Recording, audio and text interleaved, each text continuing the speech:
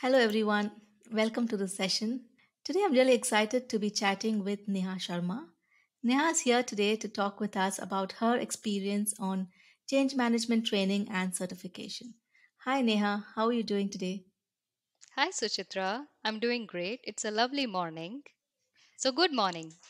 Indeed, it is. So, Neha, uh, before we begin, could you just introduce yourself to us, please? Sure. Hi, I'm Neha Sharma, a senior manager with an MNC. I come with 15 years of diverse experience. I started as a software developer. Alongside, I pursued my MS in software engineering from BITS Pilani.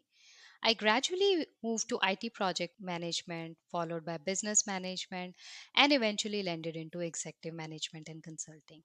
Apart from my mainstream work, I am fond of design thinking and have conducted multiple workshops and sessions on it.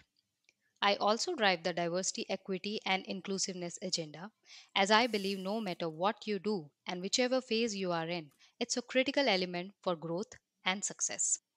Thank you, Neha. Uh, Neha, you're working as a program manager, isn't it? Yes. So, what made you decide to study and you know undergo the change management training and certification? As we all know, change is inevitable and hence it needs to be managed.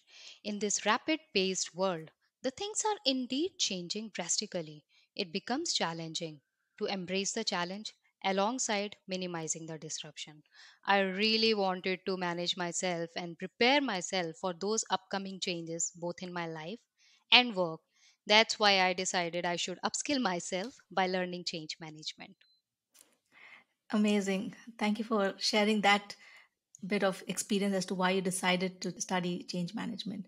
So, coming on to the training experience per se, uh, could you just share a little bit about your experience on how the training and the certification went? I underwent training from GRT Consulting. The experience had been fulfilling as their processes are well defined, the curriculum is well aligned, and they have best in class, highly skilled trainers. With 20 hours of training and ample guidance from Ramani sir, I attempted foundation level exam followed by practitioner level through APMG International. The examination experience was smooth. I took both exams proctored and received my results instantly, followed by issuing of digital badges over a next couple of days. Overall, the process was seamless. I'm really glad that you actually went ahead and shared your badge as well, which I'm sure you'd have received a lot of comments on social media for that. So, uh, you mentioned, Neha, that you took both the foundation and the practitioner level. So, I would like to ask you if you could share as to why you decided to take the practitioner level, which is the higher level. Mhm. I would say it's the way training is planned and executed. You know, it's the way it is delivered that builds your confidence to move up to the levels.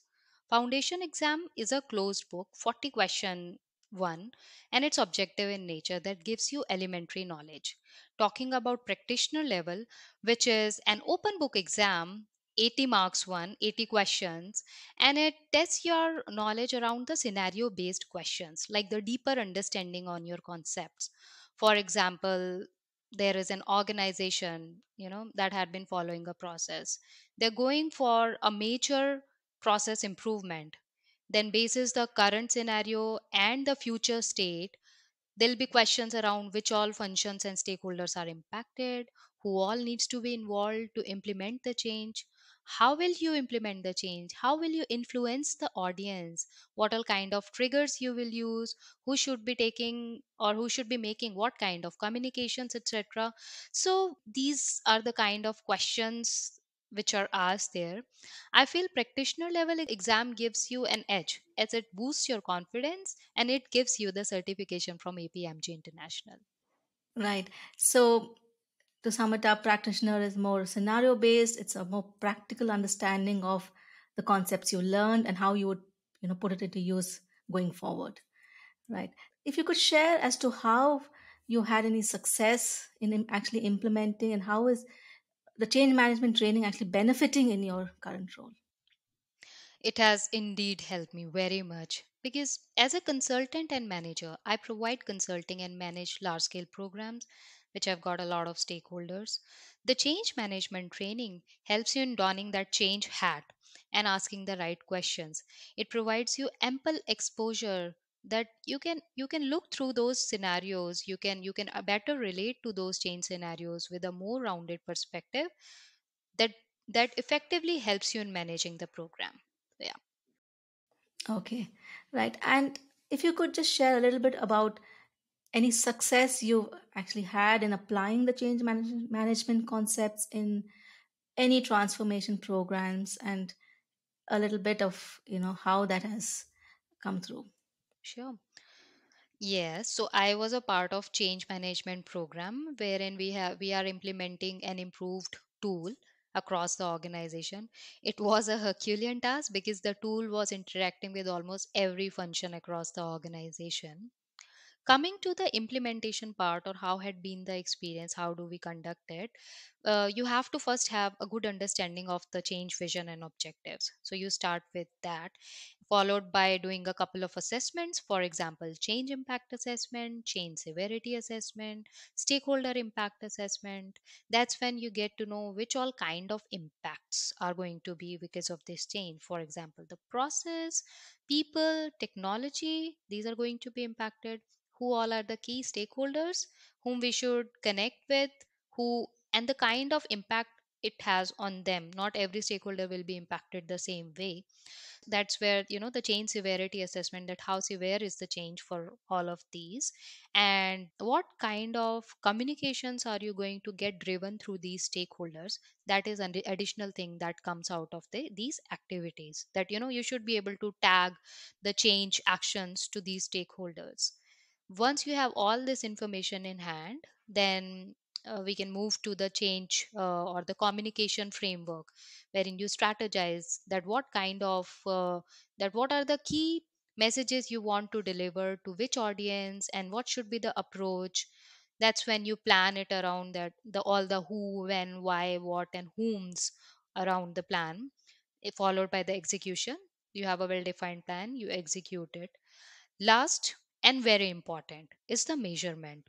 You know, throughout the process, you need to evaluate the effectiveness of communication. How do you do that? Is through the feedback mechanisms and the loops you have put in place.